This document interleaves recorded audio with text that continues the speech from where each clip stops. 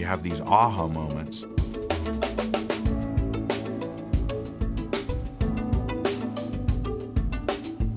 Sometimes you feel like you're on an island all by yourself with some challenges that you might be dealing with.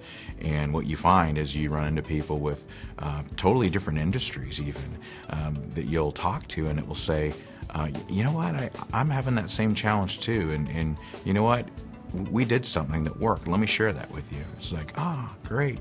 That's safety in action. When when our leaders out there, when our first line leaders see the value in that, and they truly believe it in their heart, and they put it into action and follow through. That, that's what safety in action is.